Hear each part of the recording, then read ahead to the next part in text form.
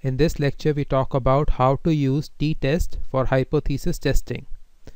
So first thing is you go to file open a new script.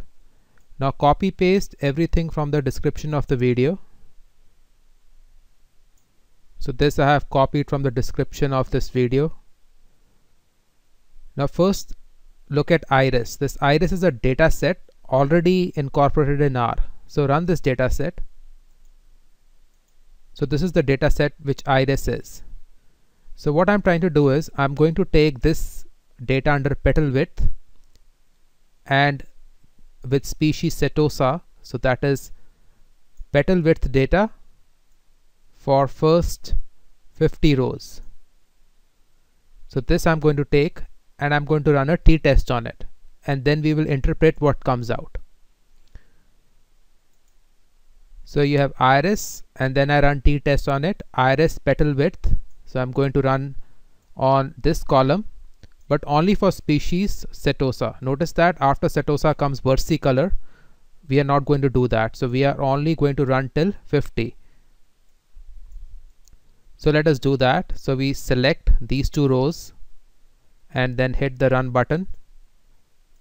And this is the test we get. So notice that first degrees of freedom is 49 so degrees of freedom 49 means that we had 50 data points and degree of freedom is n minus 1 so it gives you 49 so the default hypothesis in R is that the mean is 0 so here the alternative hypothesis is true. That is the mean is not equal to 0 so this is the output of R. Now this gives us confidence interval of 0.216 to 0.275 and then you have mean of x. This is the value of t statistic. Now the only thing which we are interested here is this confidence interval. Now this confidence interval is used to test the hypothesis. So what is a hypothesis? So say hypothesis is given to you. Suppose there is petal width of 0.3 so the null hypothesis is that this 0.3 comes from this given data of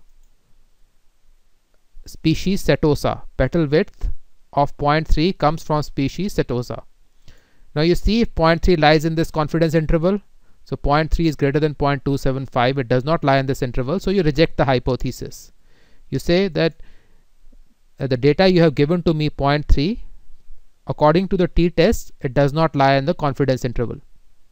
Say someone again gives you data 0.19 so you see 0.19 again does not lie in the confidence interval. So you reject the hypothesis again that the petal width 0.19 comes from this data. Then someone gives you another number say 0.2 now again 0.2 does not lie in this interval. So say someone says petal width is 0.2 you reject that hypothesis also so if someone gives you 0.22, so 0.22 lies in this interval and that you accept it. So the beauty of confidence interval is that you don't have to keep on formulating multiple hypotheses.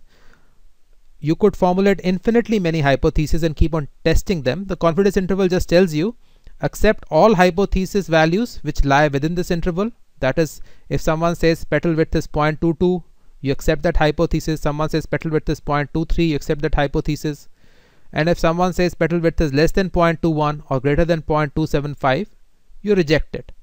So that is what uh, this confidence interval means. We always always use this t-test. Now I just want to talk about assumptions of t-test and why we use it. So the only assumption we make in the t-test is that the data is normally distributed.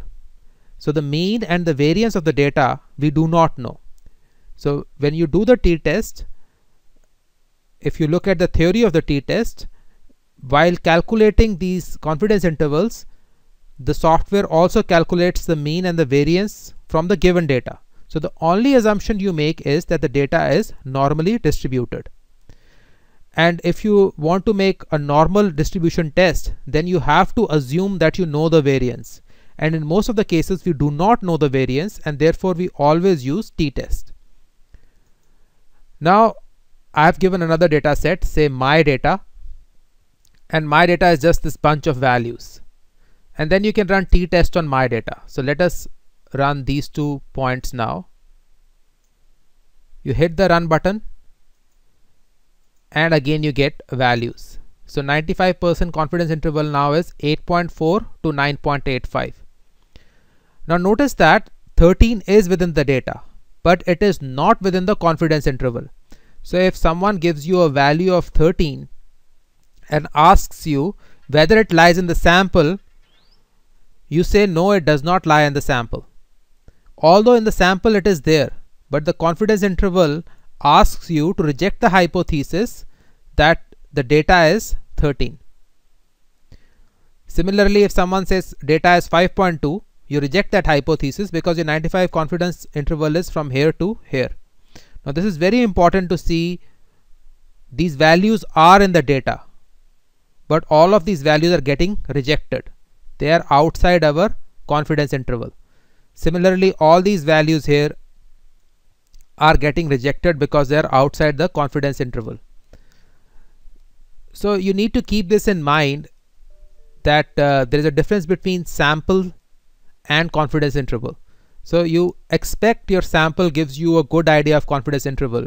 But as you can see in this data your confidence interval is very different from what you have the sample here.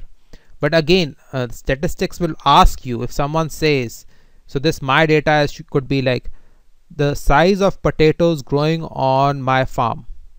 So someone says that you know the size of your potato is 13 what is the possibility that it grows on your farm? So you say a hypothesis test it grows on my farm you reject that hypothesis. Because the only hypothesis you accept is from 8.4 to 9.8